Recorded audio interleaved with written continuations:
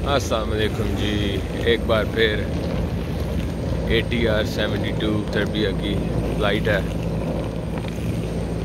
ये मुझे देखने में नया लग रहा है तो ये जो इनकी नई डिलीवरीज़ हैं ये उसमें से है।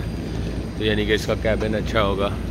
आ, मैं दोनों में फ़्लाई कर चुका हूँ एयर सर्बिया के ए टी आर इससे पहले नए कैबिन वाले में भी पुराने कैबिन वाले में भी। ये मुझे नए कैबिन वाला लग रहा है देखने में लेकिन अभी अंदर जाके इंशाल्लाह पता चलेगा कैसा है।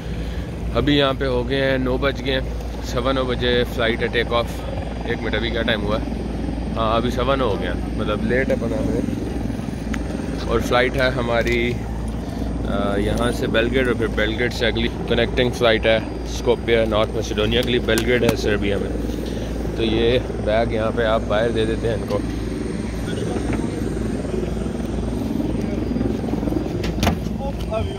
इस तरह यहाँ पे रख देते हैं बैग और फिर आप लाइन में आ जाते हैं। बैग यहाँ पे अंदर कैबिन के अंदर जो होती है, जगह बहुत छोटी होती है। तो यहाँ पे ये कार्ट होता है, इसमें आप बैग रखते जाते हैं अपने अपने और अंदर जाते जाते हैं छोटी मोटी चीज़ें लेके जा सकते हैं, जिस तरह ये मेरे पास है।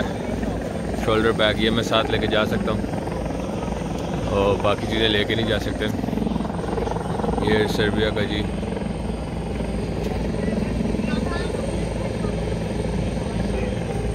प्लेन हो गया।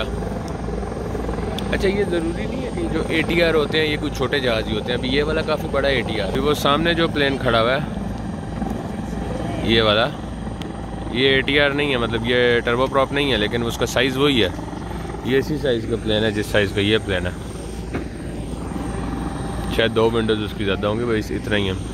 तो ये कुछ छोटे नहीं होते, लेकिन ये है कि इनमें थोड़ा बहुत फ़र्क होता है नैरो बॉडी होते हैं। इस वजह से आप ज़्यादा कर सकते हैं। और अभी मौसम यहाँ पे काफ़ी चिल चिल से ठंड ठंड सी है।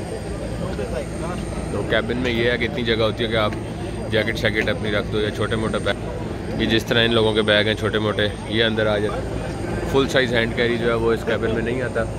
तो ये हैं जी सर्बिया के ए टी आर दो बार जो मैंने फ्लाई किया था, मेरी सीट बिल्कुल इंजन वाली थी टेन एफ़ दोनों दोनों बार हाँ। इस वक्त सॉरी इस वक्त मेरी सीट फोर एफ़ है और नेक्स्ट जो है वो एट एफ़ है, लेकिन वो प्लेन मुझे नहीं पता अभी कौन सा मैंने चेक नहीं किया। फोर एफ़ का मतलब है फ्रंट से फोर्थ सीट है। वहाँ पे सामान रखते हैं हमारा। ये जो यहाँ पे निकालते हैं, वो वहाँ पे रखते हैं।